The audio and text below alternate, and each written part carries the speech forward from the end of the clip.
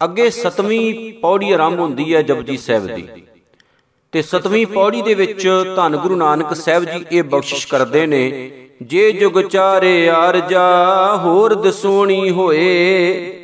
ਇੱਥੇ ਸਤਿਗੁਰੂ ਜੀ ਨੇ ਧਰਮ ਦੀ ਦੁਨੀਆ ਦੇ ਵਿੱਚ ਅਤੇ ਰਾਜਨੀਤਿਕ ਪੱਖ ਦੀ ਦੁਨੀਆ ਦੇ ਵਿੱਚ ਦੋਨਾਂ ਦੀ ਗੱਲ ਸਤਿਗੁਰੂ ਜੀ ਨੇ ਕੀਤੀ। ਕਹਿੰਦੇ ਕੋਈ ਐਸਾ ਮਨੁੱਖ ਦੁਨੀਆ ਵਿੱਚ ਹੋਵੇ ਜਿਸ ਬੰਦੇ ਦੀ ਉਮਰ 4 ਜੁਗਾਂ ਜਿੰਨੀ ਹੋ ਜਾਏ। ਹੁਣ 4 ਜੁਗਾਂ ਦੀ, ਕਿਉਂਕਿ ਜਿਹੜੇ ਬ੍ਰਾਹਮਣਵਾਦ ਨੇ 4 ਜੁਗ ਪੈਦਾ ਕੀਤੇ ਨੇ, ਆਪਣੀ ਬੁੱਧੀ ਦੇ ਮੁਤਾਬਕ। ਜੇ ਉਹਨਾਂ ਦੀ ਉਮਰ ਲਾ ਕੇ ਚੱਲੀਏ, ਤੇ ਬਹੁਤ ਵੱਡੀ ਹਜ਼ਾਰਾਂ ਸਾਲ ਬਣ ਜਾਂਦੀ ਹੈ।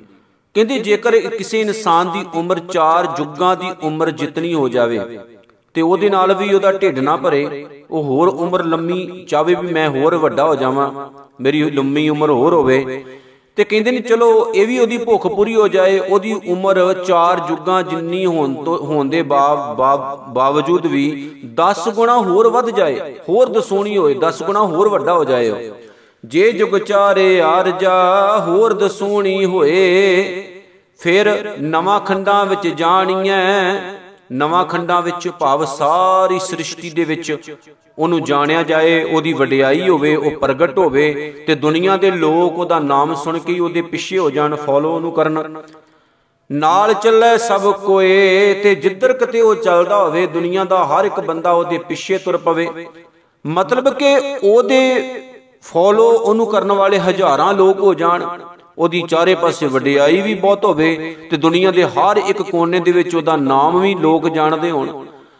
ਚੰਗਾ ਨਾਉ ਰਖਾਏ ਕੈ, ਜਸ ਕੀਰਤ ਜਗਲੇ ਨਾਮ ਵੀ ਉਹ ਚੰਗਾ ਖੱਟ ਚੁੱਕਾ ਹੋਵੇ ਦੁਨੀਆ ਦੀ ਸ਼ੋਭਾ ਵਡਿਆਈ ਕੀਰਤੀ ਵੀ ਉਹਨੂੰ ਉਹਦੇ ਪੱਲੇ ਪੈ ਚੁੱਕੀ ਹੋਵੇ। ਤੇ ਸੰਸਾਰ ਦੇ ਲੋਕ ਉਹਦੀ ਵਾਹ ਵਾਹ ਵੀ ਬੜੀ ਕਰਦੇ ਹੋਣ। ਪਰ ਗੁਰੂ ਨਾਨਕ ਸਾਹਿਬ ਜੀ ਅਸਲ ਗੱਲ ਦੱਸਦੇ ਨੇ, ਕਹਿੰਦੇ, ਜੇ ਤਿਸ ਨਦਰ ਨਾ ਆਵਈ, ਜੇ ਉਹ ਇਨਸਾਨ ਪਰਮਾਤਮਾ ਦੀ ਨਿਗਾਹ ਦੇ ਹੇਠ ਨਹੀਂ ਚੱਲਿਆ, ਇੰਨਾ ਨਾਮ ਵੀ ਉਹਨੇ ਪ੍ਰਾਪਤ ਕਰ ਲਿਆ। ਚਾਰ ਜੁਗਾਂ ਜਿੰਨੀ ਉਮਰ ਹੋ ਗਈ 10 ਗੁਣਾ ਹੋਰ ਵੱਧ ਗਈ, ਦੁਨੀਆ ਦੇ ਹਰ ਇੱਕ ਕੋਨੇ 'ਚ ਨਾਮ ਵੀ ਉਹਦਾ ਹੋ ਗਿਆ, ਉਹਦੀ ਜਿਹੜੀ ਭੁੱਖ ਸੀ ਉਹ ਵੀ ਪੂਰੀ ਹੋ ਗਈ। ਲੇਕਿਨ ਕਹਿੰਦੇ ਨੇ ਫਿਰ ਵੀ ਉਹ ਆਕੜਿਆ ਫਿਰੇ, ਉਹਦੇ 'ਚ ਕੋਈ ਰੱਬੀ ਗੁਣ ਨਾ ਹੋਵੇ ਉਹਦੇ 'ਚ ਕੋਈ ਇਨਸਾਨੀਅਤ ਵਾਲਾ ਤੱਤ ਮੌਜੂਦ ਨਾ ਹੋਵੇ, ਉਹ ਪਰਮਾਤਮਾ ਨੂੰ ਭੁਲਾ ਚੁੱਕਾ ਹੋਵੇ। ਤੇ ਗੁਰੂ ਨਾਨਕ ਸਾਹਿਬ ਜੀ ਕਹਿੰਦੇ ਨੇ, ਜੇ ਤਿਸ ਨਦਰ ਨਾ ਆਵੀ, ਜੇ ਉਹ ਮਨੁੱਖ ਰੱਬ ਦੀ, ਪਰਮਾਤਮਾ ਦੀ, ਵਾਹਿਗੁਰੂ ਦੀ ਨਿਗਾਹ ਦੇ ਹੇਠ ਨਹੀਂ ਆਉਂਦਾ, ਆਪਣੇ ਆਪ ਨੂੰ ਪਰਮਾਤਮਾ ਤੋਂ ਵੀ ਉੱਚਾ ਸਮਝ ਲੈਂਦਾ ਹੈ, ਤਾਂ ਬਾਤ ਨਾ ਪੁੱਛੈ ਕਿ, ਤਾਂ ਗੁਰੂ ਨਾਨਕ ਸਾਹਿਬ ਜੀ ਕਹਿੰਦੇ ਨੇ, ਉਹ ਇਨਸਾਨ ਉਸ ਬੰਦੇ ਵਰਗਾ ਹੈ, ਜਿਸ ਦੀ ਕੋਈ ਖਬਰ ਹੀ ਨਹੀਂ ਪੁੱਛਦਾ। ਮਤਲਬ ਇੰਨੀ ਮਾਣ ਵਡਿਆਈ ਹੁੰਦਿਆਂ ਵੀ ਉਹ ਅਸਲ ਵਿੱਚ ਨਿਆਸਰਾ ਹੈ ਇਨਸਾਨ। ਇੰਨਾ ਕੁਝ ਪ੍ਰਾਪਤ ਹੋਣ ਦੇ ਬਾਵਜੂਦ ਵੀ ਉਹ ਇਨਸਾਨ ਰੱਬ ਦੀ ਨਿਗਾਹ ਦੇ ਵਿੱਚ ਕੁਝ ਵੀ ਨਹੀਂ ਹੈ, ਜੇ ਉਹ ਪਰਮਾਤਮਾ ਦੇ ਗੁਣਾਂ ਨੂੰ ਆਪਣੇ ਜੀਵਨ ਦੇ ਵਿੱਚ ਨਹੀਂ ਵਸਾ ਕੇ ਰੱਖਦਾ ਤੇ ਜਿਸ ਬੰਦੇ ਅੰਦਰ ਇਨਸਾਨੀਅਤ ਨਹੀਂ। ਹੁਣ ਇੱਥੇ ਸਤਿਗੁਰੂ ਨੇ ਸਾਰੀਆਂ ਗੱਲਾਂ ਕਰ ਦਿੱਤੀਆਂ। ਲੰਮੀ ਉਮਰ ਦੀ ਭੁੱਖ, ਬਹੁਤੀ ਵਡਿਆਈ ਦੀ ਭੁੱਖ, ਰਾਜਨੀਤਿਕ ਪੱਖ ਤੋਂ ਵੀ ਭੁੱਖ ਤੇ ਇਥੋਂ ਵੱਧ ਕੇ ਜਿਹੜਾ ਪੈਸਾ ਹੈ ਬੰਦੇ ਦੀ ਜ਼ਿੰਦਗੀ 'ਚ, ਉਹ ਵੀ ਬਹੁਤ ਜ਼ਿਆਦਾ ਹੋ ਗਿਆ। ਸਾਰਾ ਕੁਝ ਤਾਂ ਮਿਲ ਗਿਆ। ਪਰ ਗੁਰੂ ਨਾਨਕ ਸਾਹਿਬ ਜੀ ਕਹਿੰਦੇ ਨੇ, ਲੇਕਿਨ ਰੱਬੀ ਗੁਣ ਇਨਸਾਨ ਦੇ ਜੀਵਨ ਦੇ ਵਿੱਚ ਨਹੀਂ ਆਏ। ਫਿਰ ਉਹਦੀ ਹਾਲਤ ਕੀ ਹੈ ਜੀ? ਕੀਟਾਂ ਅੰਦਰ ਕੀਟ ਕਰ ਦੋਸ਼ੀ ਦੋਸ਼ ਧਰੇ। ਫਿਰ ਪ੍ਰਮਾਤਮਾ ਅਕਾਲ ਪੁਰਖ, ਜਿਨੇ ਸੰਸਾਰ ਬਣਾਉਣ ਵਕਤ ਨਿਜ਼ਮ ਸੰਵਿਧਾਨ ਲਾਗੂ ਬਣਾ ਕੇ ਇਨਸਾਨ ਦੇ ਨਾਲ ਹੀ ਭੇਜਿਆ ਸੀ ਦੁਨੀਆ 'ਚ। ਅਸੀਂ ਪਿਛੇ ਇੱਕ ਪੌੜੀ ਦੀ ਵਿਚਾਰ ਕਰਕੇ ਆਏ ਆ ਜਿੱਥੇ ਗੁਰਦੇਵ ਨੇ ਆਖਿਆ, ਕਹਿੰਦੇ ਨੇ, ਇਨਸਾਨ ਨੂੰ ਚਾਹੀਦਾ ਰੱਬ ਦੀ ਹਜ਼ੂਰੀ ਦੇ ਵਿੱਚ ਪ੍ਰਵਾਨ ਹੋਣ ਵਾਸਤੇ ਉਹਦੇ ਹੁਕਮ ਵਿੱਚ ਚੱਲੇ। ਲੇਕਿਨ ਉਹੀ ਹੁਕਮ ਇਨਸਾਨ ਦੇ ਨਾਲ ਪਰਮਾਤਮਾ ਨੇ ਲਿਖ ਕੇ ਇਸ ਦੁਨੀਆ ਵਿੱਚ ਭੇਜਿਆ ਬੰਦੇ ਦੇ ਨਾਲ ਆਇਆ ਹੁਣ ਇੱਥੇ ਸਤਿਗੁਰੂ ਨੇ ਜਿਹੜੀ ਗੱਲ ਕੀਤੀ, ਕੀਟਾਂ ਅੰਦਰ ਕੀਟ ਕਰ ਦੋਸ਼ੀ ਦੋਸ਼ ਧਰੇ। ਇਹ ਉਹ ਪ੍ਰਮਾਤਮਾ ਦਾ ਹੁਕਮ, ਰੱਬ ਦਾ ਕਾਨੂੰਨ, ਰੱਬ ਦਾ ਜਿਹੜਾ ਨਿਯਮ ਹੈ, ਉਹ ਇਨਸਾਨ ਨੂੰ ਦੋਸ਼ੀ ਠਹਿਰਾ ਦਿੰਦਾ ਹੈ। ਫਿਰ ਦੋਸ਼ੀ ਠਹਿਰਾ ਕੇ ਇਹ ਗੱਲ ਹਮੇਸ਼ਾ ਚੇਤੇ ਰੱਖਿਓ, ਪਰਮਾਤਮਾ ਦਾ ਨਿਯਮ ਐਸੇ ਬਹੁਤ ਵੱਡੇ ਬੰਦੇ ਨੂੰ ਇੱਕ ਮਾਮੂਲੀ ਜਿਹਾ ਕੀੜਾ ਸਮਝਦਾ ਹੈ। ਅਕਾਲ ਪੁਰਖ ਦੀ ਹਜ਼ੂਰੀ ਦੇ ਵਿੱਚ ਉਸ ਇਨਸਾਨ ਨੂੰ ਇੱਕ ਮਾਮੂਲੀ ਜਿਹਾ ਕੀੜਾ ਤੱਕ ਨਹੀਂ ਸਮਝਿਆ ਜਾਂਦਾ ਜਿਹੜਾ ਆਪਣੇ ਆਪ ਨੂੰ ਦੁਨੀਆ ਦਾ ਮਾਲਕ ਸਮਝੀ ਬੈਠਾ ਹੈ। ਤੇ ਉਹਦੇ ਉੱਤੇ ਦੋਸ਼ ਲਾਇਆ ਜਾਂਦਾ ਹੈ। ਉਹਨੂੰ ਦੋਸ਼ੀ ਥਾਪਿਆ ਜਾਂਦਾ ਹੈ ਤੇ ਦੋਸ਼ ਕਾਦਾ ਲਾਇਆ ਜਾਂਦਾ ਹੈ? ਉਹ ਦੁਨੀਆ ਵਿੱਚ ਆ ਕੇ ਦੁਨੀਆ ਨੂੰ ਬਣਾਉਣ ਵਾਲੇ ਮਾਲਕ ਨੂੰ ਹੀ ਭੁੱਲ ਗਿਆ। ਉਹਦੇ 'ਚ ਇਨਸਾਨੀਅਤ ਕੋਈ ਨਹੀਂ ਰਹੀ। ਦੁਨੀਆ ਦਾ ਬੁਰਾ ਹੀ ਕਰਦਾ ਰਿਹਾ। ਕੇਵਲ ਸੈਲਫਿਸ਼ ਰਿਹਾ, ਆਪਣੇ ਵਾਸਤੇ ਜਿਉਂਦਾ ਰਿਹਾ। ਕਿਸੇ ਦੂਜੇ ਦੇ ਬਾਰੇ ਉਹਨੇ ਕਦੇ ਸੋਚਿਆ ਹੀ ਸੋਚਿਆ ਹੀ ਨਹੀਂ। ਉਹਨੇ ਧਰਮ ਦੀ ਦੁਨੀਆ ਦਾ ਵੀ ਨੁਕਸਾਨ ਕੀਤਾ। ਉਸਨੇ ਆਮ ਇਨਸਾਨ ਜੋ ਲੋਕਾਂ ਦਾ ਵੀ ਨੁਕਸਾਨ ਕੀਤਾ। ਲੇਕਿਨ ਆਪਣੀ ਭੁੱਖ ਦੀ ਖਾਤਰ ਹਜ਼ਾਰਾਂ ਹੋਰ ਲੋਕਾਂ ਨੂੰ ਭੁੱਖੇ ਰੱਖਣ ਵਾਲਾ ਐਸਾ ਬੰਦਾ ਰੱਬ ਦੀ ਨਿਗਾਹ ਦੇ ਵਿੱਚ ਕੀੜੇ ਦੇ ਸਮਾਨ ਹੁੰਦਾ ਹੈ ਤੇ ਪ੍ਰਮਾਤਮਾ ਦਾ ਨਿਜ਼ਮ ਉਸ ਇਨਸਾਨ ਨੂੰ ਦੋਸ਼ੀ ਠਹਿਰਾ ਕੇ ਉਹਨੂੰ ਦੋਸ਼ ਦਿੰਦਾ ਹੈ। ਇਹ ਹਮੇਸ਼ਾ ਚੇਤੇ ਰੱਖਿਓ। ਨਾਨਕ ਨਿਰਗੁਣ ਗੁਣ ਕਰੇ ਗੁਣਵੰਤਿਆਂ ਗੁਣ ਦੇ। ਪਰ ਸਤਿਗੁਰੂ ਗੁਰੂ ਨਾਨਕ ਸਾਹਿਬ ਕਹਿੰਦੇ ਨੇ ਕਿ ਰੱਬ ਦੇ ਵਿੱਚ ਤਾਂ ਬੜੇ ਗੁਣ ਹੈ। ਜੇ ਕੋਈ ਇਹੋ ਜਿਹਾ ਇਨਸਾਨ ਵੀ ਆਪਣੀ ਭੁੱਲ ਬਖਸ਼ਾ ਲਵੇ, ਪਰਮਾਤਮਾ ਨੂੰ ਹਾਜ਼ਰ ਨਾਜ਼ਰ ਜਾਣ ਕੇ ਖਿਮਾ ਮੰਗ ਲਵੇ, ਖੁਦ ਨੂੰ ਸੁਧਾਰਨ ਦਾ ਯਤਨ ਕਰੇ, ਤੇ ਅਕਾਲ ਪੁਰਖ ਵਾਹਿਗੁਰੂ ਬੜਾ ਬਖਸ਼ਿੰਦ ਹੈ। ਕਿਉਂਕਿ ਮੂਲ ਮੰਤਰ ਵਿੱਚ ਦੋ ਸ਼ਬਦ ਆਏ ਨੇ, ਇੱਕ ਨਿਰਭਉ, ਇੱਕ ਨਿਰਵੈਰ।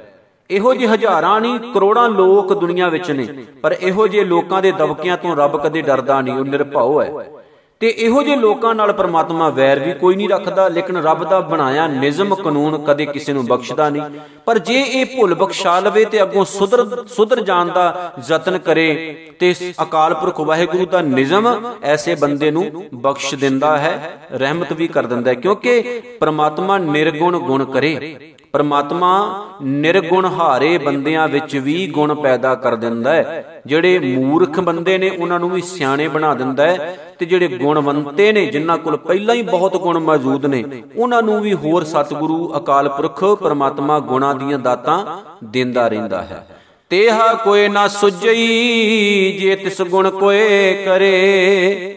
ਗੁਰੂ ਨਾਨਕ ਸਾਹਿਬ ਜੀ ਕਹਿੰਦੇ ਨੇ, ਇਹੋ ਜਿਹਾ ਮੈਨੂੰ ਹੋਰ ਕੋਈ ਦਿਸਦਾ ਨਹੀਂ। ਤੇਹਾ ਉਸ ਵਾਹਿਗੁਰੂ ਵਰਗਾ ਕੋਈ ਨਾ ਸੁਝਈ ਮੈਨੂੰ ਕੋਈ ਹੋਰ ਨਜ਼ਰ ਨਹੀਂ ਆਉਂਦਾ, ਹੋਰ ਕੋਈ ਸੁਝਦਾ ਨਹੀਂ, ਹੋਰ ਕੋਈ ਲੱਭਦਾ ਨਹੀਂ। ਜਿਹਦੇ ਵਿੱਚ ਇੰਨੇ ਗੁਣ ਹੋਣ ਕਿ ਜੇ ਤਿਸ ਗੁਣ ਕਰੇ, ਜੇ ਤਿਸ ਗੁਣ ਕੋਏ ਕਰੇ, ਜੋ ਨਿਰਗੁਣ ਜੀਵਾਂ ਨੂੰ ਵੀ ਗੁਣ ਦੇ ਸਕਦਾ ਹੋਵੇ, ਜੋ ਮੂਰਖਾਂ ਨੂੰ ਵੀ ਸਿਆਣੇ ਬਣਾ ਸਕਦਾ ਹੋਵੇ, ਜੋ ਲੋਹੇ ਨੂੰ ਵੀ ਸੋਨਾ ਕਰ ਸਕਦਾ ਹੋਵੇ, ਜੋ ਕੱਚ ਨੂੰ ਵੀ ਹੀਰਾ ਕਰ ਸਕਦਾ ਹੋਵੇ, ਇਹੋ ਜਿਹਾ ਗੁਣਵੰਤ ਅਕਾਲ ਪੁਰਖ ਵਾਹਿਗੁਰੂ ਉਹਦੇ ਤੋਂ ਵੱਡਾ ਹੋਰ ਕੋਈ ਵੀ ਨਹੀਂ, ਉਹਦੇ ਵਰਗਾ ਹੋਰ ਕੋਈ ਵੀ ਨਹੀਂ। ਇਸ ਕਰਕੇ ਇੱਥੇ ਸਾਰੀ ਗੱਲ ਖਤਮ ਕੀਤੀ ਕਿ ਅਸੀਂ ਕਿਸੇ ਦੇਵੀ ਦੇਵਤੇ ਨੂੰ ਨਹੀਂ ਮੰਨਦੇ। ਅਸੀਂ ਕਿਸੇ ਹੋਰ ਪੀਰ ਪੈਗੰਬਰ ਦੀ ਪੂਜਾ ਨਹੀਂ ਕਰਦੇ। ਅਸੀਂ ਕਿਸੇ ਅਖੌਤੀ ਕਹੀ ਜਾਣ ਵਾਲੀ ਮਹਾਨ ਤਾਕਤ ਦੇ ਮੂਹਰੇ ਸੀਸ ਨਹੀਂ ਝੁਕਾਉਂਦੇ। ਸਾਡੇ ਵਾਸਤੇ ਤਾਂ ਉਹ ਅਕਾਲ ਪੁਰਖ ਵਾਹਿਗੁਰੂ ਮਹਾਨ ਹੈ, ਜਿਨੇ ਸਾਨੂੰ, ਤੁਹਾਨੂੰ ਸਾਰੇ ਸੰਸਾਰ ਨੂੰ, ਪੂਰੇ ਬ੍ਰਹਿਮੰਡ ਨੂੰ ਪੈਦਾ ਕੀਤਾ ਤੇ ਜਿਹੜਾ ਇੱਕੋ ਹੀ ਸਾਰੇ ਸੰਸਾਰ ਨੂੰ ਚਲਾ ਰਿਹਾ ਉਹਦੇ ਤੋਂ ਵੱਡਾ ਹੋਰ ਕੋਈ ਵੀ ਨਹੀਂ। ਇਸ ਕਰਕੇ ਹਮੇਸ਼ਾ ਉਸ ਪਰਮਾਤਮਾ ਦੇ ਚਰਨਾਂ ਦੇ ਵਿੱਚ ਆਪਣੀ ਸੁਰਤ ਬਿਰਤ ਟਿਕਾ ਕੇ ਰੱਖੋ ਤੇ ਉਸ ਏਕ ਓੰਕਾਰ ਨੂੰ ਹਮੇਸ਼ਾ ਯਾਦ ਰੱਖੋ। ਹੁਣ ਅਗਲੀ ਪੌੜੀ ਜਿਹੜੀ ਆਰੰਭ ਹੁੰਦੀ ਹੈ, ਸੁਣਿਆ ਦੀਆਂ ਪੌੜੀਆਂ ਸ਼ੁਰੂ ਹੁੰਦੀਆਂ ਨੇ 8ਵੀਂ ਪੌੜੀ ਤੋਂ।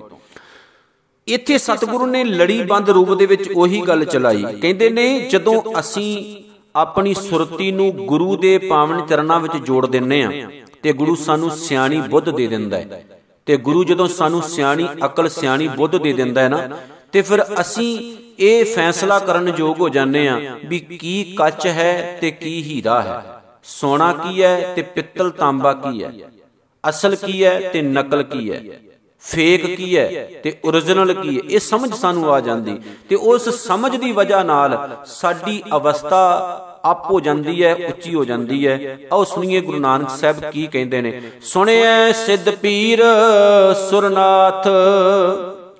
ਕਹਿੰਦੇ ਨੇ, ਜੇ ਅਸੀਂ ਆਪਣੀ ਸੁਰਤ ਨਾਮ ਦੇ ਵਿੱਚ ਜੋੜ ਲਈਏ, ਨਾਮ ਮਤਲਬ ਗੁਣ। ਗੁਣ ਕੌਣ ਦਿੰਦਾ ਹੈ? ਜੀ ਸਤਿਗੁਰੂ, ਕਿਉਂਕਿ ਏਕ ਓੰਕਾਰ ਤੋਂ ਲੈ ਕੇ ਸਹਿਭੰਗ ਤੱਕ ਰੱਬੀ ਗੁਣਾ ਦੀ ਗੱਲ ਕੀਤੀ, ਫਿਰ ਗੁਰਪ੍ਰਸਾਦ ਕਹਿ ਕੇ ਆਖਿਆ ਕਿ ਗੁਰੂ ਕਿਰਪਾ ਕਰੇ ਤਾਂ ਐਸੇ ਅਕਾਲ ਪੁਰਖ ਨੂੰ ਅਸੀਂ ਪ੍ਰਾਪਤ ਕਰਦੇ ਹਾਂ। ਨਾਮ ਦਾ ਮਤਲਬ ਹੈ ਗੁਣ, ਤੇ ਗੁਣ ਮਿਲਦੇ ਨੇ ਗੁਰੂ ਦੇ ਪਾਸੋਂ, ਤੇ ਗੁਣ ਕਿਸ ਦੇ ਨੇ? ਪ੍ਰਮਾਤਮਾ ਦੇ। ਸਮਝਿਓ, ਸੁਣਿਐ ਸਿੱਧ ਪੀਰ ਸੁਰਨਾਥ, ਗੁਰੂ ਦੇ ਦੁਆਰਾ ਮਿਲੇ ਹੋਏ ਗੁਣਾਂ ਨੂੰ ਜਦੋਂ ਅਸੀਂ ਆਪਣੇ ਜੀਵਨ ਦੇ ਵਿੱਚ ਧਾਰਨ ਕਰ ਲੈਨੇ ਆ ਤੇ ਸਾਡੀ ਸੁਰਤ, ਸਾਡੀ ਬ੍ਰਿਤੀ, ਸਾਡੀ ਅਵਸਥਾ ਬਹੁਤ ਉੱਚੀ ਹੋ ਜਾਂਦੀ ਆਪ ਹੋ ਜਾਂਦੀ ਹੈ। ਤੇ ਨਾਲ ਦੀ ਨਾਲ ਸਾਨੂੰ ਇਹ ਵੀ ਪਤਾ ਲੱਗ ਜਾਂਦਾ ਹੈ ਕਿ ਇਹ ਸਿੱਧ ਪੀਰ, ਦੇਵਤੇ ਅਤੇ ਨਾਥ, ਇਹਨਾਂ ਨੇ ਕੁਝ ਦੁਨੀਆ ਨੂੰ ਨਹੀਂ ਦਿੱਤਾ। ਇਹਨਾਂ ਨੇ ਕੁਝ ਸੰਸਾਰ ਨੂੰ ਨਹੀਂ ਦਿੱਤਾ। ਸਗੋਂ ਦੁਨੀਆ ਨੂੰ ਇਹਨਾਂ ਲੋਕਾਂ ਨੇ ਲੁੱਟਿਆ ਹੀ ਹੈ ਤੇ ਇਹਨਾਂ ਇਹ ਜਿਸ ਅਵਸਥਾ ਤੱਕ ਪਹੁੰਚੇ ਨੇ, ਉਹ ਅਵਸਥਾ ਤਾਂ ਕੁਝ ਕੁਝ ਵੀ ਨਹੀਂ।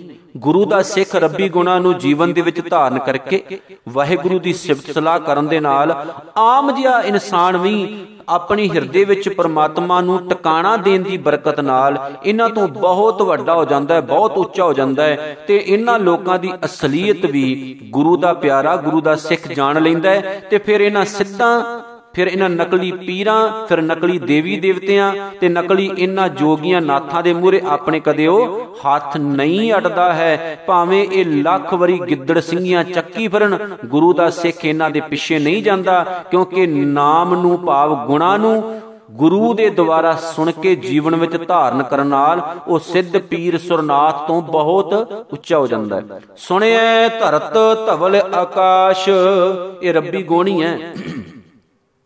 ਜਿਹੜੇ ਫਿਰ ਸਿੱਖ ਨੂੰ ਇੰਨੀ ਕੁ ਉੱਚੀ ਸੁੱਚੀ ਸੁਰਤ ਦੇ ਦਿੰਦੇ ਨੇ, ਇੰਨੀ ਕੁ ਵਡਿਆਈ ਦੇ ਦਿੰਦੇ ਨੇ ਕਿ ਉਹ ਵਾਹਿਗੁਰੂ ਦੀ ਸਿਫਤ ਸਲਾਹ ਦੁਨੀਆ ਦੇ ਹਰ ਇੱਕ ਕੋਨੇ ਵਿੱਚ ਬੈਠਾ ਸੁਣਦਾ ਹੈ ਤੇ ਫਿਰ ਉਹਨੂੰ ਪਤਾ ਲੱਗ ਜਾਂਦਾ ਹੈ ਕਿ ਕਿਸੇ ਦੇਵਤੇ ਨੇ ਕੋਈ ਬੌਲਦ ਨਹੀਂ ਪੈਦਾ ਕੀਤਾ ਤੇ ਕੋਈ ਬੌਲਦ ਨਹੀਂ ਹੈ, ਜਿਹੜਾ ਕਿਸੇ ਧਰਤੀ ਨੂੰ ਆਪਣੇ ਸਿੰਘਾਂ ਉੱਤੇ ਚੁੱਕ ਕੇ ਖੜਾ ਹੈ। ਸਗੋਂ ਧਰਤੀ ਕੀ, ਆਕਾਸ਼ ਕੀ, ਇਹਨਾਂ ਸਾਰਿਆਂ ਦਾ ਸਹਾਰਾ ਇੱਕ ਹੀ ਬੌਲਦ ਹੈ। ਕਿਹੜਾ ਹੈ? ਉਹ ਧਰਮ, ਉਹ ਨਿਯਮ, ਉਹ ਕਾਨੂੰਨ, ਉਹ ਅਸੂਲ, ਜਿਹੜਾ ਪ੍ਰਮਾਤਮਾ ਨੇ ਖੁਦ ਪੈਦਾ ਕੀਤਾ ਤੇ ਧਰਤੀ, ਆਕਾਸ਼ ਸਭ ਪ੍ਰਮਾਤਮਾ ਦੇ ਅਸੂਲਾਂ ਮੁਤਾਬਕ ਚੱਲ ਰਹੀ ਹੈ। ਪੰਡਤਾਂ ਦੇ ਬਣਾਏ ਹੋਏ ਕਿਸੇ ਵੀ ਨਕਲੀ ਬੌਲਦਾਂ ਦੇ ਸਹਾਰੇ ਧਰਤੀ ਟਿਕੀ ਨਹੀਂ, ਨਾ ਆਕਾਸ਼ ਟਿਕਿਆ ਹੈ। ਸੁਣਿਐ, ਦੀਪ ਲੋ ਪਾਤਾਲ।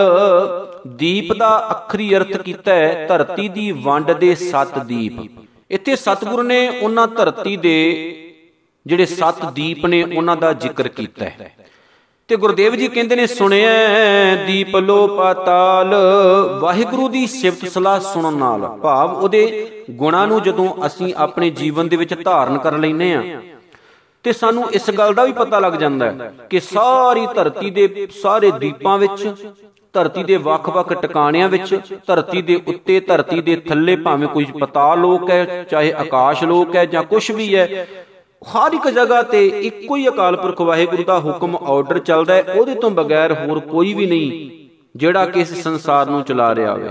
ਸੁਣਿਐ, ਪੋ ਨਾ ਸਕੈ ਕਾਲ। ਤੇ ਗੁਰਦੇਵ ਜੀ ਕਹਿੰਦੇ ਨੇ, ਜਦੋਂ ਉਹ ਰੱਬੀ ਗੁਣ ਜੀਵਨ ਦੇ ਵਿੱਚ ਧਾਰਨ ਕਰ ਲਏ, ਤੇ ਇਹ ਵੀ ਸਮਝ ਲੱਗ ਗਈ ਕਿ ਹੁਣ ਅਕਾਲ ਪੁਰਖ ਵਾਹਿਗੁਰੂ ਦੇ ਚਰਨਾਂ ਦੇ ਵਿੱਚ ਜੇ ਪ੍ਰਵਾਨਤਾ ਲੈਣੀ ਹੈ, ਤੇ ਸਾਨੂੰ ਆਤਮਕ ਮੌਤ ਤੋਂ ਬਚਣਾ ਪਵੇਗਾ।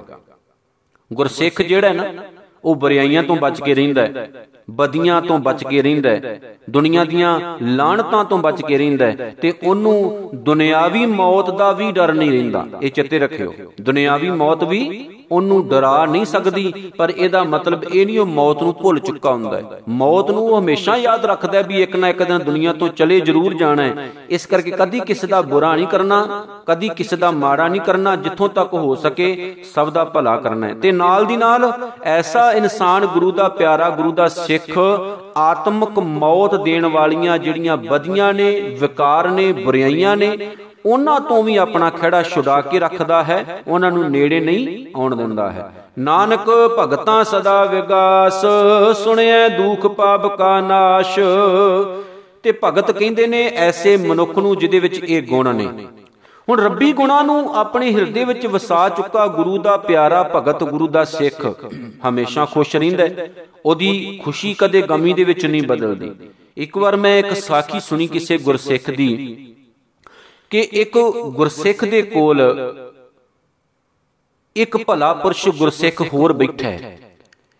ਉਸ ਗੁਰਸਿੱਖ ਦਾ ਕਾਰੋਬਾਰ ਹੈ ਨਮਕ ਦਾ ਤੇ ਸਮੁੰਦਰਾਂ ਦੇ ਰਾਹੀਂ ਉਹਦਾ ਜਿਹੜਾ ਨਮਕ ਸੀ, ਇੱਕ ਦੂਜੇ ਦੇਸ਼ ਤੱਕ ਪਹੁੰਚਦਾ ਸੀ। ਸਾਖੀ ਲਿਖਣ ਵਾਲੇ ਨੇ ਇਹ ਦੱਸਿਆ ਵੀ ਉਹਦਾ ਨੌਕਰ ਅਚਨਚੇਤ ਘਬਰਾਇਆ ਹੋਇਆ ਉਹਦੇ ਕੋਲ ਆ ਕੇ ਇਹ ਗੱਲ ਕਹਿੰਦਾ ਹੈ ਕਿ ਸ਼ਾਹੂਕਾਰ ਜੀ, ਸਾਡੇ ਜੋ ਬੇੜੇ ਆ ਰਹੇ ਸਨ ਨਮਕ ਵਾਲੇ, ਉਹ ਡੁੱਬ ਗਏ ਨੇ। ਉਹ ਡੁੱਬ ਗਏ ਨੇ ਤੇ ਸਾਡਾ ਬੜਾ ਵੱਡਾ ਨੁਕਸਾਨ ਹੋ ਗਿਆ ਹੈ। ਤੇ ਜਦੋਂ ਉਸ ਗੁਰਸਿੱਖ ਨੇ ਗੱਲ ਸੁਣੀ ਤੇ ਉਹਦੀ ਜਿਹੜੀ ਖੁਸ਼ੀ ਸੀ ਨਾ, ਉਹ ਗਮੀ ਦੇ ਵਿੱਚ ਨਹੀਂ ਬਦਲੀ। ਉਹ ਜਿਉਂਦਾ ਤਿਉਂ ਬੈਠਾ ਕਹਿੰਦਾ, ਕੋਈ ਨਹੀਂ, ਜੋ ਰੱਬ ਦਾ ਪਾਣਾ, ਤੂੰ ਜਾ। ਕੁਝ ਘੰਟਿਆਂ ਬਾਅਦ ਉਹੀ ਨੌਕਰ ਦੁਬਾਰਾ ਫਿਰ ਆ ਕੇ ਕਹਿੰਦਾ, ਜੀ, ਸਾਡਾ ਬਚਾਅ ਹੋ ਗਿਆ, ਸਾਡਾ ਨੁਕਸਾਨ ਕੋਈ ਨਹੀਂ ਹੋਇਆ। ਫਿਰ ਗੁਰੂ ਦਾ ਸਿੱਖ ਜਦੋਂ ਉਹਦੀ ਇਹ ਗੱਲ ਸੁਣਦਾ ਹੈ ਤੇ ਸੁਣ ਕੇ ਉਹਨੂੰ ਫਿਰ ਇਹੀ ਜਵਾਬ ਦਿੰਦਾ ਹੈ ਕਿ ਜੋ ਰੱਬ ਦਾ ਭਾਣਾ ਰੱਬ ਦੀ ਖੁਸ਼ੀ 'ਚ ਸਾਡੀ ਖੁਸ਼ੀ, ਤੂੰ ਜਾ। ਜਿਹੜਾ ਉਹਦੇ ਕੋਲ ਬੈਠਾ ਨਾ ਗੁਰਸਿੱਖ, ਉਹਨੂੰ ਸਵਾਲ ਕਰਦਾ ਹੈ ਵੀ ਇੰਨਾ ਕੁ ਤਾਂ ਮੈਨੂੰ ਜ਼ਰੂਰ ਦੱਸੋ ਵੀ ਜਦੋਂ ਤੁਹਾਨੂੰ ਇਹ ਪਤਾ ਲੱਗਾ ਵੀ ਤੁਹਾਡਾ ਨੁਕਸਾਨ ਹੋ ਗਿਆ ਹੈ ਤੇ ਤਾਂ ਵੀ ਤੁਸੀਂ ਨਹੀਂ ਘਬਰਾਏ। ਜਦੋਂ ਤੁਹਾਨੂੰ ਇਹ ਪਤਾ ਲੱਗਾ ਵੀ ਤੁਹਾਡਾ ਨੁਕਸਾਨ ਨਹੀਂ ਹੋਇਆ, ਤਾਂ ਵੀ ਤੁਹਾਡੇ ਚਿਹਰੇ ਤੇ ਕੋਈ ਵਿਸ਼ੇਸ਼ ਖੁਸ਼ੀ ਨਹੀਂ ਸੀ, ਕੋਈ ਵਿਸ਼ੇਸ਼ ਰੌਣਕ ਨਹੀਂ ਸੀ। ਕਾਰਨ ਉਹਨੇ ਕਿਹਾ ਜੀ, ਇਹ ਦੁਨਿਆਵੀ ਚੀਜ਼ਾਂ ਨੇ। ਤੇ ਦੁਨਿਆਵੀ ਚੀਜ਼ਾਂ ਆਉਂਦੀਆਂ ਜਾਂਦੀਆਂ ਰਹਿੰਦੀਆਂ ਨੇ ਤੇ ਇਹਨਾਂ ਚੀਜ਼ਾਂ ਦੀ ਵਜ੍ਹਾ ਦੇ ਕਰਕੇ ਅਸੀਂ ਆਪਣੀ ਸਿਹਤ, ਅਸੀਂ ਆਪਣੀ ਅਵਸਥਾ ਨੂੰ ਕਿਉਂ ਨੁਕਸਾਨ ਪਹੁੰਚਾਈਏ? ਸਗੋਂ ਗੁਰੂ ਨਾਨਕ ਸਾਹਿਬ ਨੇ ਸਾਨੂੰ ਇਹ ਦੱਸ ਦਿੱਤਾ ਹੈ ਵੀ ਦੁਨੀਆ ਵਿੱਚ ਕੋਈ ਵੀ ਚੀਜ਼ ਸਦਾ ਨਹੀਂ ਰਹਿੰਦੀ। ਜੋ ਕੁਝ ਵੀ ਹੈ, ਭਾਵੇਂ ਕੂੜ ਰਾਜਾ, ਕੂੜ ਪਰਜਾ, ਕੂੜ ਸਭ ਸੰਸਾਰ, ਕੂੜ ਮੰਡਪ, ਕੂੜ ਮਾੜੀ, ਕੂੜ ਬੈਸਨਾਰ, ਜੋ ਕੁਝ ਦੁਨੀਆ ਵਿੱਚ ਸਾਨੂੰ ਦਿਸ ਰਿਹਾ ਹੈ ਜੋ ਕੁਝ ਹੈ, ਸਭ ਖਤਮ ਹੋ ਜਾਣਾ ਇਹਨਾਂ ਚੀਜ਼ਾਂ ਕਰਕੇ ਅਸੀਂ ਆਪਣੇ ਅਵਸਥਾ, ਆਪਣੇ ਮਾਈਂਡ ਨੂੰ, ਅਸੀਂ ਆਪਣੇ ਵਿਚਾਰਾਂ ਨੂੰ ਕਦੇ ਨਾ ਬਦਲੀਏ। ਸਗੋਂ ਹਮੇਸ਼ਾ ਚੇਤੇ ਰੱਖੀਏ ਵੀ ਇਹ ਆਉਣ ਵਾਲੀਆਂ ਚੀਜ਼ਾਂ ਨੇ, ਆਉਂਦੀਆਂ ਜਾਂਦੀਆਂ ਰਹਿਣੀਆਂ ਨੇ। ਤੇ ਗੁਰਸਿੱਖ ਐਸਾ ਹੀ ਹੈ। ਉਹਦੇ ਅੰਦਰ ਸਦਾ ਵਿਗਾਸ, ਹਮੇਸ਼ਾ ਖੁਸ਼ੀ, ਹਮੇਸ਼ਾ ਖੜਾਓ ਬਣਿਆ ਰਹਿੰਦਾ ਹੈ। ਭਾਵੇਂ ਕੋਈ ਜੰਮੇ, ਭਾਵੇਂ ਕੋਈ ਮਰੇ, ਭਾਵੇਂ ਕੁਝ ਵੀ ਹੋ ਜਾਵੇ, ਉਹ ਕਦੇ ਵੀ ਆਪਣੀ ਹਿਰਦੇ ਦੀ ਖੁਸ਼ੀ ਨੂੰ ਗਮੀ ਦੇ ਵਿੱਚ ਨਹੀਂ ਬਦਲਦਾ ਹੈ। ਸਗੋਂ ਨਾਲ ਦੀ ਨਾਲ ਉਹਦੀ ਅਵਸਥਾ ਇੱਥੋਂ ਤੱਕ ਹੋ ਜਾਂਦੀ ਹੈ ਕਿ ਸੁਣਿਆ ਦੁੱਖ ਪਾਪ ਕਾ ਨਾਸ਼। ਆਤਮਿਕ ਦੁੱਖ ਆਤਮਿਕ ਦੁੱਖ, ਆਤਮਿਕ ਦਰਦ, ਉਹ ਵੀ ਉਹਦੇ ਨੇੜੇ ਤੇੜੇ ਨਹੀਂ ਆਉਂਦੇ ਤੇ ਪਾਪ ਦੇ ਬਾਰੇ ਮਾੜਾ ਜਿਹਾ ਸਮਝ ਲਈਏ। ਭਾਈ ਸਾਹਿਬ, ਭਾਈ ਕਾਨ ਸਿੰਘ ਨਾਭਾ ਜੀ ਨੇ ਲਿਖਿਆ ਹੈ ਕਿ ਤਿੰਨ ਪ੍ਰਕਾਰ ਦੇ ਪਾਪਾਂ ਦਾ ਜ਼ਿਕਰ ਹੈ। ਕਿਹੜੇ ਪਾਪ ਨੇ? ਪਹਿਲਾ ਕਰਤਾਰ ਤੋਂ ਬੇਮੁਖਤਾ। ਗੁਰਸਿੱਖ ਵਾਕਿਆ ਕਦੇ ਵੀ ਪਾਪ ਨਹੀਂ ਕਰਦਾ, ਰੱਬ ਤੋਂ ਵੱਲੋਂ ਕਦੇ ਮੂੰਹ ਨਹੀਂ ਮੋੜਦਾ। ਦੂਜਾ ਪਾਪ ਉਦਮ ਦਾ ਤਿਆਗ ਕਰ ਦੇਣਾ ਤੇ ਗੁਰਸਿੱਖ ਹਮੇਸ਼ਾ ਮਿਹਨਤੀ ਹੈ, ਕਿਰਤਕਾਰ ਕਰਦਾ ਹੈ ਆਪਣੀ ਉਦਮੀ, ਉਦਮ ਛੱਡ ਕੇ ਤੇ ਕਦੀ ਦੂਜਿਆਂ ਦੇ ਮੁਰੇ ਹੱਥ ਅੱਡ ਕੇ ਮੰਗਦਾ ਨਹੀਂ, ਇਹ ਤੋਂ ਵੀ ਬਚ ਜਾਂਦਾ ਤੇ ਤੀਜਾ ਹੈ ਕਿਸੇ ਦੂਜੇ ਦਾ, ਕਿਸੇ ਦਾ ਦਿਲ ਦਹਾਉਣਾ, ਕਿਸੇ ਨੂੰ ਚੋਟ ਮਾਰਨੀ ਦਿਲ ਤੇ। ਤੇ ਗੁਰਸਿੱਖ ਇਹ ਤੋਂ ਹੀ ਬਚ ਜਾਂਦਾ ਕਦੀ ਕਿਸੇ ਨੂੰ ਦਰਦ ਨਹੀਂ ਦਿੰਦਾ, ਕਿਸੇ ਨੂੰ ਦੁੱਖ ਨਹੀਂ ਦਿੰਦਾ। ਗੁਰੂ ਦਾ ਸਿੱਖ ਰੱਬੀ ਗੁਣਾ ਨੂੰ ਜੀਵਨ ਦੇ ਵਿੱਚ ਧਾਰਨ ਕਰਨ ਕਰਕੇ ਆਤਮਿਕ ਦੁੱਖ, ਦਰਦ ਤੇ ਇਸ ਤਰ੍ਹਾਂ ਦੇ ਪਾਪਾਂ ਤੋਂ ਵੀ ਬਚ ਜਾਂਦਾ ਬਾਕੀ ਜਿਹੜੇ ਪਾਪਾਂ ਦਾ ਜ਼ਿਕਰ ਬ੍ਰਾਹਮਣਵਾਦ ਦੀ ਸੋਚ ਨੇ ਕੀਤਾ, ਗੁਰਸਿੱਖ ਰੱਬੀ ਗੁਣਾ ਨੂੰ ਜੀਵਨ ਵਿੱਚ ਧਾਰਨ ਕਰਨ ਕਰਕੇ ਉਹਨਾਂ ਤੋਂ ਵੀ ਬਚ ਜਾਂਦਾ ਹੈ। ਜੇ ਬਿੱਲੀ ਮਰ ਗਈ ਤੇ ਮੰਦਰ ਵਿੱਚ ਜਾ ਕੇ ਸੋਨੇ ਦੀ ਚੜਾਓ ਨਹੀਂ ਤੇ ਪਾਪ ਲੱਗਦਾ ਹੈ। ਪੈਰ ਥਲੇ ਕੀੜੀ ਆ ਕੇ ਮਰ ਗਈ, ਤਾਂ ਉਹ ਜੀਓ, ਉਹ ਪਾਪ ਲੱਗਦਾ ਹੈ ਜੀ। ਇਸ ਤਰ੍ਹਾਂ ਦੀਆਂ ਚੀਜ਼ਾਂ ਤੋਂ ਗੁਰਸਿੱਖ ਹਮੇਸ਼ਾ ਬਚਿਆ ਰਹਿੰਦਾ ਹੈ। ਇਦਾਂ ਦੇ ਵਹਿਮ ਭਰਮਾਂ ਵਾਲੇ ਪਾਪਾਂ ਤੋਂ ਵੀ ਗੁਰਸਿੱਖ ਦਾ ਛੁਟਕਾਰਾ ਹੋਇਆ ਰਹਿੰਦਾ ਹੈ ਤੇ ਗੁਰਬਾਣੀ ਮੁਤਾਬਕ ਜੀਵਨ ਧਾਰਨ ਕਰ ਲੈਂਦਾ ਹੈ। ਸੁਣਿਐ ਈਸ਼ਰ ਬ੍ਰਹਮਾ ਇੰਦ। ਈਸ਼ਰ ਦਾ ਮਤਲਬ ਹੈ ਸ਼ਿਵ, ਇੰਦ ਦਾ ਮਤਲਬ ਹੈ ਇੰਦਰ ਦੇਵਤਾ। ਹੁਣ ਉਹ ਜਦੋਂ ਗੁਣ ਜੀਵਨ ਦੇ ਵਿੱਚ ਧਾਰਨ ਕਰ ਲਏ ਤੇ ਗੁਰਸਿੱਖ ਨੂੰ ਕਿਸੇ ਈਸ਼ਰ ਭਾਵ ਕਿਸੇ ਵੀ ਸ਼ਿਵ ਜਾਂ ਕਿਸੇ ਬ੍ਰਹਮਾ ਜਾਂ ਕਿਸੇ ਇੰਦਰ ਦੀ ਜ਼ਰੂਰਤ ਨਹੀਂ ਪੈਂਦੀ। ਉਹ ਇਹਨਾਂ ਤੋਂ ਬਹੁਤ ਮਹਾਨ ਹੋ ਜਾਂਦਾ ਹੈ, ਬਹੁਤ ਵੱਡਾ ਹੋ ਜਾਂਦਾ ਹੈ। ਉਹਦੀ ਨਿਗਾਹ ਵਿੱਚ ਉਹਦਾ ਸਤਿਗੁਰੂ, ਉਹਦਾ ਅਕਾਲ ਪੁਰਖ ਹੀ ਮਹਾਨ ਹੁੰਦਾ ਹੈ ਤੇ ਇਹਨਾਂ ਦੇਵੀ ਦੇਵਤਿਆਂ ਦਾ ਉਹ ਪਿਛਲੱਗ ਨਹੀਂ ਰਹਿੰਦਾ, ਪਰ ਸਗੋਂ ਨਾਲ ਦੀ ਨਾਲ ਰੱਬੀ ਗੁਣਾਂ ਨੂੰ ਜੀਵਨ ਵਿੱਚ ਧਾਰਨ ਕਰਨ ਕਰਕੇ ਇਹਨਾਂ ਦੀ ਅੰਦਰ ਦੀ ਪਹਿਚਾਣ ਜ਼ਰੂਰ ਹੋ ਜਾਂਦੀ ਹੈ ਵੀ ਇਹ ਹਮੇਸ਼ਾ ਦੇਵੀ ਦੇਵਤੇ ਲੋਕਾਂ ਨੂੰ ਭਟਕਾਉਂਦੇ ਹੀ ਰਹੇ ਨੇ। ਇੰਦਰ ਦੀਆਂ ਕਰਤੂਤਾਂ ਦਾ ਸਾਨੂੰ ਪਤਾ ਹੀ ਹੈ। ਉਹ ਕਿੱਦਾਂ ਦਾ ਕਿੱਦਾਂ ਦੀਆਂ ਕਰਤੂਤਾਂ ਵਾਲਾ ਇਨਸਾਨ ਹੋਇਆ ਜਿਹਦੇ ਬਾਰੇ ਪੰਡਤ ਬ੍ਰਾਹਮਣ ਕਹਿੰਦੇ ਨੇ ਕਿ ਜਿਹੜਾ ਸਵਰਗ ਹੈ ਉਹਦਾ ਮਾਲਕ ਇੰਦਰ ਦੇਵਤਾ ਹੈ ਤੇ ਐਸੇ ਸਵਰਗ ਨੂੰ ਆਪਾਂ ਕੀ ਕਰਨਾ? ਜਿਹਦਾ ਮਾਲਕ ਹੀ ਨਾ ਕੈਰੈਕਟਰਲੈਸ ਹੋਵੇ ਬ੍ਰਹਮਾ ਦੀ ਆਪਾਂ ਗੱਲ ਕਰਦੇ ਆਂ ਤੇ ਉਹਦੇ ਬਾਰੇ ਵੀ ਤੇ ਸਾਨੂੰ ਪਤਾ ਹੈ ਕਿ ਆਪਣੀ ਲੜਕੀ ਦੇ ਉੱਤੇ ਉਹ ਮੋਹਤ ਹੋ ਗਿਆ। ਹੁਣ ਸਾਨੂੰ ਇਹਨਾਂ ਦੀਆਂ ਵਸਤੂਆਂ ਆਪਾਂ ਕੀ ਲੈਣੀਆਂ? ਇਹਨਾਂ ਨਾਲ ਸਾਨੂੰ ਕੀ ਮਤਲਬ? ਤੇ ਜੇ ਆਪਾਂ ਸ਼ਿਵ ਦੀ ਗੱਲ ਕਰਦੇ ਆਂ ਤੇ ਗੁਰਬਾਣੀ ਵਿੱਚ ਸਤਿਗੁਰੂ ਨੇ ਲਿਖ ਦਿੱਤਾ ਵੀ ਸ਼ਿਵ ਸ਼ਿਵ ਕਰਤੇ ਜੋ ਨਰ ਧਿਆਵੇ ਬਲਦ ਚੜੇ ਡੌਰੂ ਡਮਕਾਵੇ। ਹੁਣ ਸਾਨੂੰ ਇਹਨਾਂ ਦੀਆਂ ਵਸਤਾਵਾਂ ਦੀ ਜ਼ਰੂਰਤ ਨਹੀਂ। ਜਿਹੜਾ ਆਪਣੇ ਕਾਮ ਦੇ ਉੱਤੇ ਹੀ ਰੋਕ ਨਾ ਰੋਕ ਕੇ ਨਾ ਰੱਖ ਸਕਦਾ ਹੋਵੇ, ਆਪਣੇ ਕਾਮ ਦੀ ਬਿਰਤੀ ਨੂੰ, ਆਪਣੇ ਕ੍ਰੋਧ ਦੀ ਬਿਰਤੀ ਨੂੰ ਨਾ ਰੋਕ ਸਕਦਾ ਹੋਵੇ। ਜਿਹੜਾ ਹਰ ਵਕਤ ਤੀਜੀ ਅੱਖ ਕੱਢ ਕੇ ਦੁਨੀਆ ਨਾਸ਼ ਕਰਨ ਲਈ ਤਿਆਰ ਬੈਠਾ ਰਹਿੰਦਾ ਹੋਵੇ, ਸਤਿਗੁਰੂ ਕਹਿੰਦੇ ਸਾਨੂੰ ਇਹਨਾਂ ਦੀ ਜ਼ਰੂਰਤ ਨਹੀਂ, ਇਹਨਾਂ ਦੇਵੀ ਦੇਵਤਿਆਂ ਦੀ। ਸਗੋਂ ਗੁਰਬਾਣੀ ਦੇ ਵਿੱਚ ਇਹਨਾਂ ਦੀ ਉਪਾਸ਼ਨਾ ਦਾ ਕੋਈ ਜ਼ਿਕਰ ਨਹੀਂ ਤੇ ਨਾ ਗੁਰਮਤ ਨੇ ਇਹਨਾਂ ਨੂੰ ਕਿਤੇ ਪ੍ਰਵਾਨ ਕੀਤਾ ਸਗੋਂ ਇਹਨਾਂ ਨੂੰ ਛੱਡ ਕੇ ਪ੍ਰਮਾਤਮਾ ਦੇ ਚਰਨਾਂ ਵਿੱਚ ਸੁਰਤ ਜੋੜਨ ਦਾ ਜ਼ਿਕਰ ਹੈ ਗੁਰਬਾਣੀ 'ਚ। ਸੋ ਚਿੱਤੇ ਰੱਖਣਾ ਹੈ ਕਿ ਰੱਬੀ ਗੁਣਾ ਨੂੰ ਜੀਵਨ ਵਿੱਚ ਧਾਰਨ ਕਰਨ ਨਾਲ ਗੁਰਸਿੱਖ, ਸ਼ਿਵ, ਬ੍ਰਹਮਾ, ਇੰਦਰ ਆਦਿਕ ਦੇਵੀ ਦੇਵਤਿਆਂ ਤੋਂ ਆਪਣਾ ਖਿਹੜਾ ਛੁਡਾ ਲੈਂਦਾ ਤੇ ਇਹਨਾਂ ਦੀ ਅਸਲੀਅਤ ਵੀ ਜਾਣ ਲੈਂਦਾ ਤੇ ਇਹਨਾਂ ਤੋਂ ਹਜ਼ਾਰਾਂ ਗੁਣਾ ਵੱਧ ਸਿਆਣਾ ਹੋ ਜਾਂਦਾ ਸੁਣਿਆ ਮੁਖ ਸਲਾਹਣ ਮੰਦ ਮੰਦ ਭੈੜਾ ਮਨੁੱਖ। ਕਿੰਨਾ ਵੀ ਕੋਈ ਮਾੜਾ ਮਨੁੱਖ ਹੋਵੇ ਪਰ ਜਦੋਂ ਉਹਦੇ ਅੰਦਰ ਰੱਬੀ ਗੁਣ ਜੀਵਨ ਦੇ ਵਿੱਚ ਵਸ ਗਏ, ਉਹਦੇ ਅੰਦਰ ਸਤ ਸੰਤੋਖ, ਦਇਆ, ਧਰਮ, ਪਿਆਰ ਆ ਕੇ ਵਸ ਗਿਆ ਤੇ ਇਹੋ ਜਿਹਾ ਇਨਸਾਨ ਵੀ ਗੁਰੂ ਦੇ ਚਰਨਾਂ 'ਚ ਸੀਸ ਧਰ ਕੇ, ਗੁਰੂ ਦੇ ਰਾਹੀਂ ਆਪਣੇ ਮਸਤਕ ਦੇ ਵਿੱਚ, ਆਪਣੀ ਸੋਚ ਦੇ ਵਿੱਚ ਗੁਣ ਪੈਦਾ ਕਰਕੇ ਭੈੜਾ ਬੰਦਾ ਵੀ ਸਿਆਣਾ ਬਣ ਜਾਂਦਾ ਹੈ। ਇੱਥੇ ਭੂਮੀਏ ਚੋਰ ਵਰਗੇ ਵੀ ਸਤਕਾਰੇ ਗਏ। ਇੱਥੇ ਬਾਬਾ ਵਿਧੀ ਚੰਦ ਵਰਗੇ ਜਿਹੜੇ ਚੋਰ ਸਨ, ਉਹ ਵੀ ਸਤਕਾਰੇ ਗਏ ਨੇ। ਔਰ ਰਿਸਪੈਕਟ ਮਿਲੀ ਉਹਨਾਂ ਨੂੰ ਕਿਉਂਕਿ ਉਹਨਾਂ ਨੇ ਆਪਣਾ ਜੀਵਨ ਚੇਂਜ ਕਰ ਲਿਆ। ਤੇ ਇੱਥੇ ਭਾਈ ਲੈਣਾ ਜੋ ਦੇਵੀਆਂ ਦੇ ਉਪਾਸ਼ਕ ਸਨ, ਉਹ ਗੁਰੂ ਦੀ ਪਦਵੀ ਤੱਕ ਪਹੁੰਚ ਗਏ। ਬਸ ਗੱਲ ਗੁਣਾ ਦੀ ਗੁਣ ਹਿਰਦੇ 'ਚ ਵਸ ਗਏ। ਭੈੜੇ ਤੋਂ ਭੈੜਾ ਮਨੁੱਖ ਵੀ ਰੱਬ ਨੂੰ ਯਾਦ ਕਰਨ ਲੱਗ ਪੈਂਦਾ ਸੁਣਿਆ ਜੋਗ ਜੁਗਤ ਤਨ ਭੇਦ, ਜੋਗ ਜੁਗਤ ਜੋਗ ਦੀ ਜੁਗਤੀ ਜੋਗ ਦੇ ਸਾਧਨ। ਜੋਗ ਦੇ ਜਿੰਨੇ ਵੀ ਸਾਧਨ ਹੈ, ਜੋਗ ਜੁਗਤ ਜੋਗ ਦੀਆਂ ਜਿੰਨੀਆਂ ਜੁਗਤੀਆਂ, ਜੋਗ ਦੇ ਜਿੰਨੇ ਸਾਧਨ ਜੋਗ ਦੀਆਂ ਜਿੰਨੀਆਂ ਕਿਰਿਆਵਾਂ ਨੇ ਉਹ ਸਾਰੀਆਂ ਕਾਦੇ ਵਾਸਤੇ ਆ? ਤਨ ਭੇਦ, ਸਰੀਰ ਦੇ ਅੰਦਰ ਦੀਆਂ ਗੱਲਾਂ ਨੂੰ ਬਾਹਰ ਲਿਆਉਣ ਵਾਸਤੇ। ਵੀ ਸਰੀਰ 'ਚ ਕਿੰਨੀਆਂ ਨਾੜੀਆਂ ਨੇ? ਕਿਹੜੀ ਨਾੜੀ ਥਾਣੀ ਹਵਾ ਜਾਂਦੀ ਹੈ? ਕਿਹੜੀ ਥਾਣੀ ਆਉਂਦੀ ਹੈ? ਇਹ ਸਭ ਗੱਲਾਂ ਹੀ ਉਹ ਆਪਣੇ ਅੰਦਰੋਂ ਜਾਣਨ ਵਾਸਤੇ ਯੋਗ ਦੀਆਂ ਜੁਗਤੀਆਂ ਨੂੰ ਵਧਾਉਂਦੇ ਘਟਾਉਂਦੇ ਰਹਿੰਦੇ ਨੇ। ਪਰ ਗੁਰਦੇਵ ਜੀ ਕਹਿੰਦੇ ਨੇ, ਗੁਰੂ ਦਾ ਸਿੱਖ ਜੋਗੀਆਂ ਦਾ ਵੀ ਪਿਛਲੱਗ ਨਹੀਂ ਰਹਿੰਦਾ, ਕਿਉਂਕਿ ਇਹਨਾਂ ਦੀਆਂ ਜੁਗਤੀਆਂ ਕੇਵਲ ਆਪਣੇ ਸਰੀਰ ਦੇ ਅੰਦਰ ਦੀਆਂ ਨਾੜੀਆਂ ਤੱਕ ਸੀਮਤ ਹੈ, ਆਪਣੇ ਸਰੀਰਕ ਗਿਆਨ ਤੱਕ ਸੀਮਤ ਹੈ ਕਸਰਤਾਂ ਤੱਕ ਸੀਮਤ ਹੈ, ਇਹ ਤੋਂ ਵੱਧ ਕੇ ਇਹਨਾਂ ਨੇ ਸਮਾਜ ਨੂੰ ਕੁਝ ਵੀ ਨਹੀਂ ਦਿੱਤਾ, ਸਗੋਂ ਸਮਾਜ ਦਾ ਨੁਕਸਾਨ ਬਹੁਤ ਵੱਡਾ ਕੀਤਾ ਜੋਗੀਆਂ ਨੇ। ਗੁਰੂ ਨਾਨਕ ਸਾਹਿਬ ਨੇ ਜਿਸ ਟਾਈਮ ਇਹ ਬਾਣੀ ਲਿਖੀ ਹੋਵੇਗੀ, ਉਸ ਟਾਈਮ ਤਾਂ ਜੋਗ ਮਤ ਦਾ ਬਹੁਤ ਵੱਡਾ ਰੌਲਾ ਸੀ। ਇਸ ਦੁਨੀਆ ਦੇ ਵਿੱਚ ਹਰ ਇੱਕ ਦਰਖਤ ਦੇ ਹੇਠਾਂ ਜੋਗੀ ਬੈਠੇ ਨਜ਼ਰ ਆਉਂਦੇ ਸੀ, ਖੂਹਾਂ 'ਚ ਲਟਕੇ, ਦਰਖਤਾਂ ਨਾਲ ਲਟਕੇ ਹੋਏ, ਜੰਗਲਾਂ ਬੀਆਂ ਬਾਨਾਂ 'ਚ ਡੇਰੇ ਲਾਏ ਹੋਏ, ਹਰ ਇੱਕ ਜਗ੍ਹਾ ਤੇ ਬੈਠੇ ਸਨ। ਤੇ ਗੁਰੂ ਨਾਨਕ ਸਾਹਿਬ ਨੇ ਰੋਕ ਲਾਈ ਵੀ ਜੇ ਸਾਰਾ ਸੰਸਾਰ, ਸਾਰੀ ਦੁਨੀਆ ਇਸ ਤਰ੍ਹਾਂ ਜੋਗੀ ਬਣ ਗਈ ਤੇ ਦੁਨੀਆ ਚੱਲੇਗੀ ਕਿੱਦਾਂ? ਕਿਉਂਕਿ ਕਹਿੰਦੇ ਸੀ ਵਿਆਹ ਨਹੀਂ ਕਰਾਉਣਾ ਜੀ।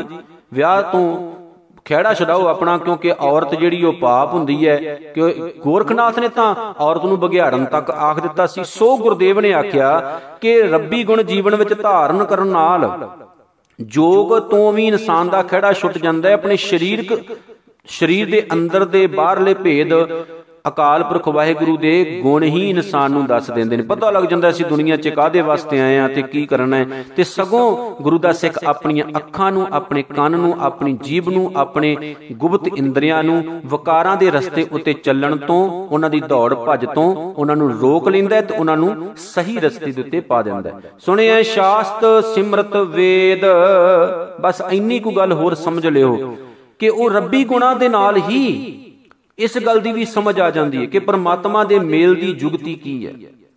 ਇਹ ਵੀ ਪਤਾ ਲੱਗ ਜਾਂਦਾ ਹੈ ਕਿ ਇਹਨਾਂ ਵੇਦਾਂ, ਸਿਮਰਤੀਆਂ ਅਤੇ ਸ਼ਾਸਤਰਾਂ ਦੇ ਵਿੱਚ ਕੀ ਲਿਖਿਆ ਹੋਇਆ ਹੈ। ਕਿਹੜੇ ਵਹਿਮ, ਭਰਮ ਕਰਮ ਕਾਂਡਾਂ ਦੇ ਵੱਲ ਬੰਦੇ ਨੂੰ ਤੋਰਿਆ ਹੋਇਆ ਹੈ। ਇਸ ਗੱਲ ਦੀ ਵੀ ਸਮਝ ਲੱਗ ਜਾਂਦੀ ਹੈ ਤੇ ਪਤਾ ਲੱਗ ਜਾਂਦਾ ਹੈ ਉਸ ਨੂੰ ਸਾਰਾ ਕੁਝ ਵੀ ਮੈਂ ਰਸਤੇ ਕਿਹੜੇ ਉੱਤੇ ਜਾਣਾ ਤੇ ਕਿਹੜੇ ਤੇ ਨਹੀਂ ਜਾਣਾ। ਇਹਨਾਂ ਧਾਰਮਿਕ ਪੁਸਤਕਾਂ ਦਾ ਵੀ ਉਹ ਪਿਛਲੱਗ ਨਹੀਂ ਰਹਿੰਦਾ ਸਗੋਂ ਸੱਚੇ ਗਿਆਨ ਨਾਲ ਹਮੇਸ਼ਾ ਜੁੜਿਆ ਰਹਿੰਦਾ ਹੈ। ਨਾਨਕ ਭਗਤਾਂ ਸਦਾ ਵਿਗਾਸ ਸੁਣਿਆ, ਦੁਖ ਪਾਪ ਕਾ ਨਾਸ਼, ਉਹਦੇ ਅੰਦਰ ਹਮੇਸ਼ਾ ਖੁਸ਼ੀ ਖੜਾਓ ਬਣਿਆ ਰਹਿੰਦਾ ਹੈ ਤੇ ਉਹ ਆਤਮਿਕ ਦੁੱਖ ਦਰਦਾਂ ਤੋਂ ਹਮੇਸ਼ਾ ਉੱਚਾ ਹੋ ਜਾਂਦਾ ਹੈ ਤੇ ਦੁਨੀਆ ਦੇ ਕਿਸੇ ਵੀ ਪ੍ਰਕਾਰ ਦੇ ਦੁੱਖ ਦਰਦ ਉਹਨੂੰ ਆਪਣੇ ਸਹੀ ਰਸਤੇ ਤੋਂ ਤੋਰਨ ਤੋਂ, ਭਾਵ ਚੱਲਣ ਤੋਂ ਰੋਕ ਨਹੀਂ ਪਾ ਸਕਦੇ। ਉਹ ਹਮੇਸ਼ਾ ਖੁਸ਼ ਰਹਿੰਦਾ ਹੈ ਖੜਾ ਚ ਰਹਿੰਦਾ ਹੈ। ਸੁਣਿਆ ਸਤ ਸੰਤੋਖ ਗਿਆਨ, ਸਤ ਸੰਤੋਖ ਦਾਨੀ ਅਤੇ ਸੰਤੋਖੀ। ਸਤ ਦਾ ਮਤਲਬ ਹੁੰਦਾ ਦਾਨੀ।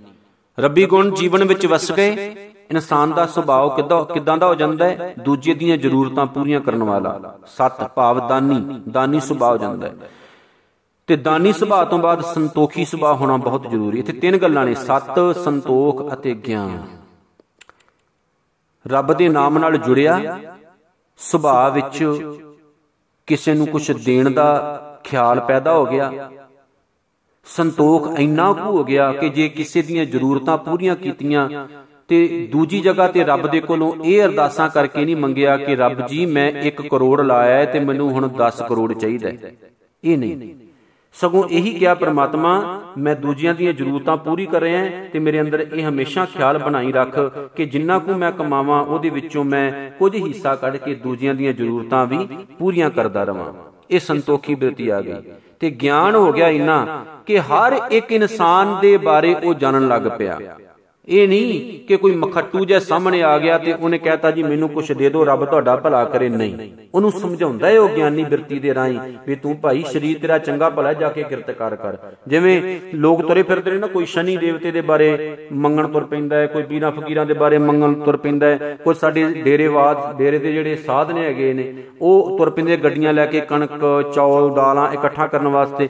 ਗੁਰਸਿੱਖ ਜਿਹੜਾ ਗਿਆਨਵਾਨ ਹੋ ਜਾਂਦਾ ਹੈ ਤੇ ਪਖੰਡੀਆਂ ਨੂੰ ਉਹ ਭਜਾਉਂਦਾ ਵੀ ਹੈ ਤੇ ਲੋੜਵੰਦ ਬੰਦਾਂ ਦੀਆਂ ਲੋੜਾਂ ਵੀ ਪੂਰੀਆਂ ਕਰਦਾ ਹੈ। ਸੁਣਿਆ 68 ਕਾ ਇਸ਼ਨਾਨ।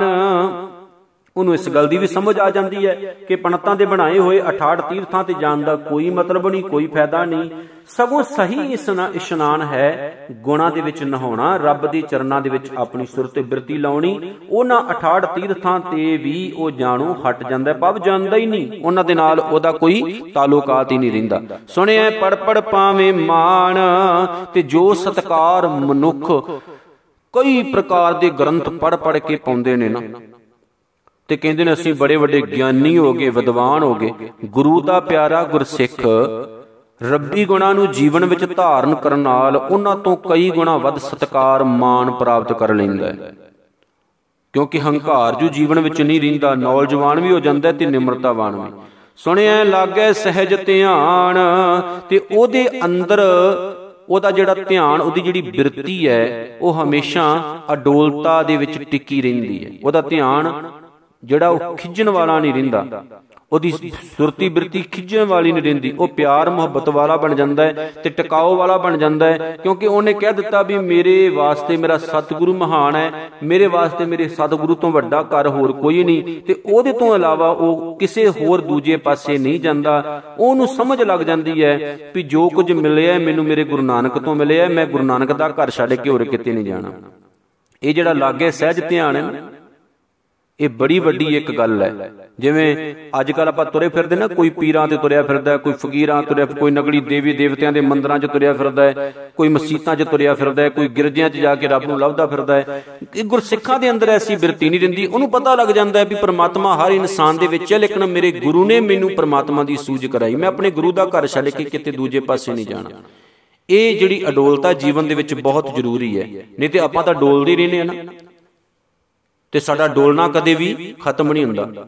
ਤੇ ਇੰਨਾ ਕੋ ਡੋਲਦੇ ਆ ਸਾਨੂੰ ਗੁਰਦੁਆਰਿਆਂ ਵਿੱਚ ਵੀ ਸਿੱਧਕ ਨਹੀਂ ਰਿਹਾ ਸੰਤੋਖ ਨਹੀਂ ਰਿਹਾ ਔਰ ਅਸੀਂ ਭਟਕਦੇ ਫਿਰਦੇ ਰਹਿੰਨੇ ਨਾਨਕ ਭਗਤਾਂ ਸਦਾ ਵਿਗਾਸ ਸੁਣਿਆ ਦੁਖ ਪਾਪ ਕਾ ਨਾਸ਼।